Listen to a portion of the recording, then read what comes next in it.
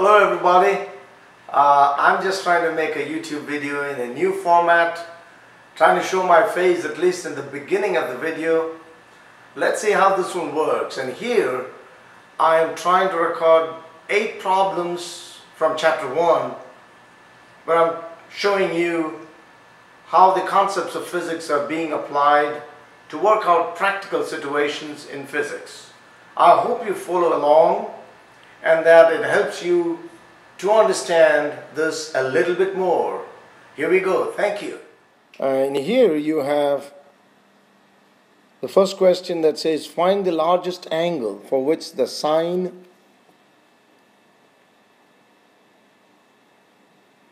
in here you have the first one that talks about the largest angle for which sine and tangent agree to within two significant figures. So on the left hand side now you have degrees. Next column gives sine theta and the third one gives tan theta as you can see here.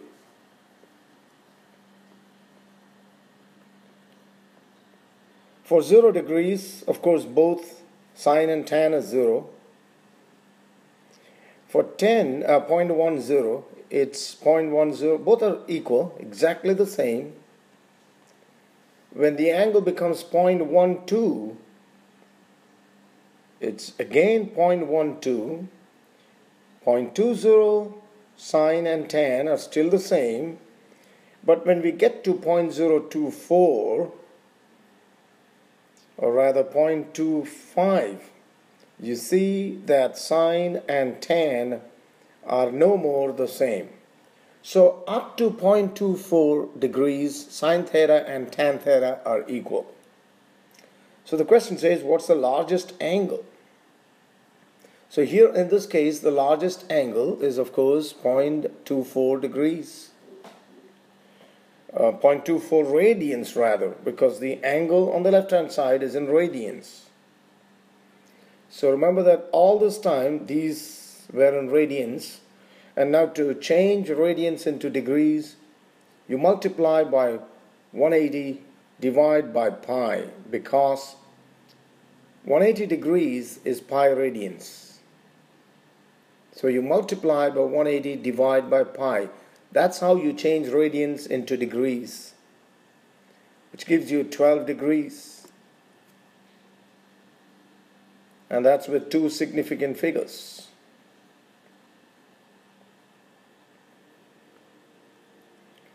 And you also note uh, that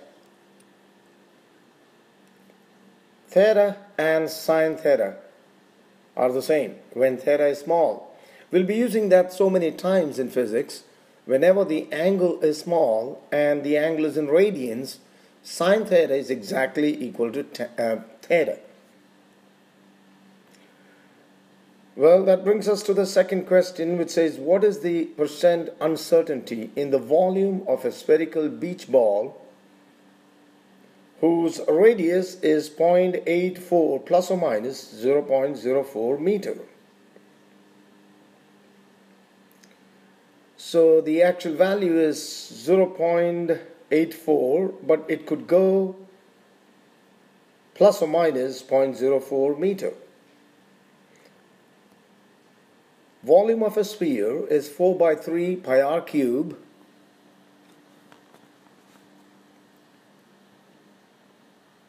That's 4 by 3 pi times 0.84 cube, uh, which gives 2.483 meter cube. Now, to find the minimum volume, we use the minimum radius. And the minimum radius is 0.84 minus 0.04. So we get 4 by 3 pi 0.80. So that is 0.84 minus 0.04. That's how we get 0.80. That gives a volume of 2.145 meter cube. And then similarly find the maximum volume for which the radius would be 0.84 plus 0.04 and that's how we get 0.88 now to find the change in volume the difference you have to add the two the maxima and the minima add them and divide by 2 you take the difference I'm sorry you take the difference between maxima and minima V max minus V min take the difference and divide by 2 so 1 half the maximum which is 2.855 take away the minimum which is 2.145 and that gives 0.355 meter cube which is the deviation. And now to find the percent uncertainty take this value divide by the volume for radius of 0.84 which is 2.483 times 100 because it's in it's expressed as a percentage which gives about 14% bringing us to the third question that says the diameter of the moon is 3480 kilometers. What's the surface area of the moon how many times larger is this compared to the surface area of the Earth? Now, the surface area of a sphere is 4 pi r squared. And there are many times that you're going to use this formula for surface area of a sphere. It's 4 pi r squared. And that gives the surface area as 4 pi times the radius in meters is 3.480 times 10 to the 3 by 2 because what was given was the diameter okay? Which gives 3.80 times 10 to the 13 meter squared. In the B part to find the surface area of the earth use the radius of the earth which is 6.38 times 10 to the 6 so since we're looking for a ratio, divide the surface area of the earth by the surface area of the moon. The 4 pi's cancel out and it gives us 13.4. So the surface area of the earth is 13.4 times greater than the surface area of the moon. In the next question, There are many sailboats moored at a marina 4.4 kilometers away on the opposite side of a lake. You are staring at one of the sailboats because when you're lying flat at the water's edge, you can just see its deck, but none of the side. You then go to that sailboat on the other side of the lake and measure that the deck is 1.5 meter above the level of the water. And using the figure, where the height is given as 1.5 meter, you got to find the radius of the earth. Quite an interesting question here. And uh, let's look carefully at the diagram. You see uh, the radius of the earth here, both of these. You're lying down here and watching it. That's the boat. You are just able to see Alright, as you lie down here and watch, you're just able to see the deck. The distance from you to the deck is D, the height is H, and the radius of the earth is R, which you're going to find. Okay. So that's the height now. Now looking at the figure, let's call this ABC.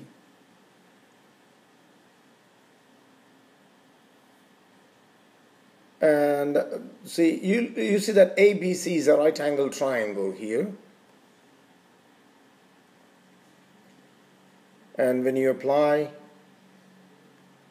the Pythagorean theorem there, you get d squared plus r squared is equal to r plus h. Remember that this is r plus h, which is the hypotenuse. So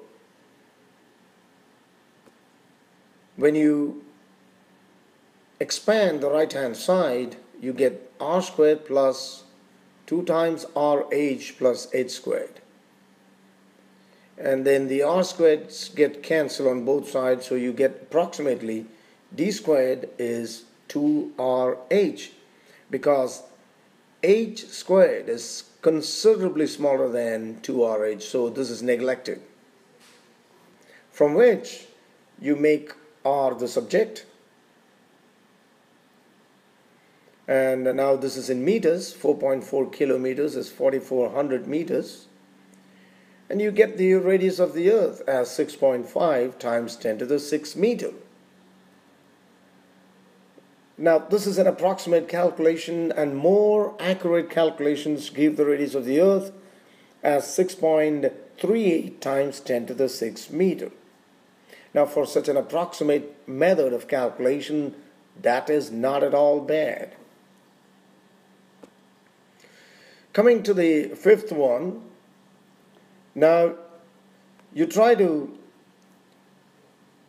Find the diameter of the moon by holding a pencil in front of your eye at a position where its blunt end just blocks out the moon. You'll understand that as you look at the figure. And you've got to find the diameter of the moon. Okay, so that's the moon, and that's the distance. Now, understand that this is where the pencil is the blunt edge. It's completely blocking the moon off and you're watching from here. So that's the distance of the pencil from your eye.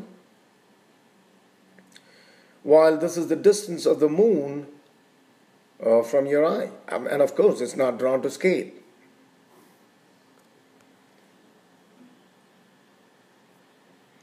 Now, looking at this and uh, knowing that, angle is measured, you know, you could measure the, you could define the angle here as either the diameter of the pencil divided by the pencil distance or the diameter of the moon divided by the distance of the moon because both of those subtend the same angle here.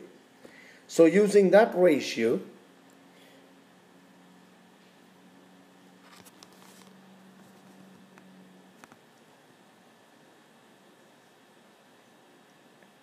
and making uh, the diameter of the moon the subject,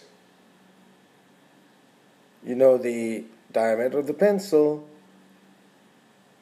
the distance of the pencil is given to, so that's 0.75 here, and then the distance of the moon, which gives 3500 kilometers as the diameter of the moon. Now remember that this problem chiefly depends on the idea of the definition of an angle in radians. Angle is defined as length of the arc, and which is what is here, length of the arc, which is the diameter in this case, divided by the distance. So that's how you define angle in radians. Which brings us to the sixth question. Uh, this is about density. Density of an object is defined as mass divided by volume. And if the mass and volume of a rock is measured, its mass is 8 gram and its volume is 2.8325 centimeter cube, you got to find the density. And this is chiefly talking about significant figures. Density is mass by volume. So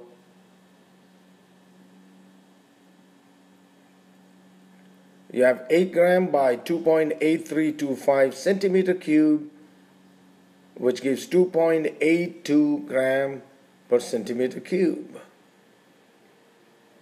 which is approximately 3 gram per centimeter cube. We are only using one significant figure in the result because you always go with the lowest number of significant figures which is 1 in this term. So the answer can only have as many significant figures as in the lowest one of the terms. Okay, so it's, it's 1 here, so the answer cannot have more than one significant figure. And uh, finally, the speed of an object is given by the quantity or the equation y is at cubed minus bt, where t refers to time. What are the dimensions of a and b, and what are the SI units for the constants a and b? Now, this question is about dimensions and knowing that, so that's velocity. Okay, knowing that the dimension of the term here should be the same as the dimension of the two terms on the right hand side. So the dimension of velocity and that of at cube must be equal and also that of bt. So that's the idea. So the and so do the units. The units and the dimensions must be the same. So the unit of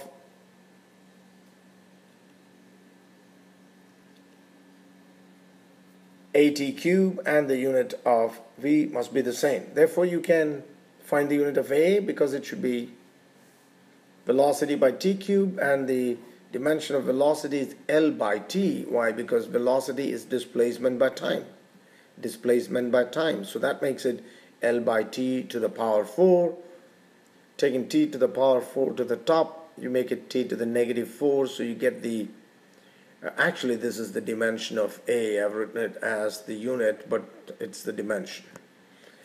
Similarly, the unit of BT should be the same as that of velocity.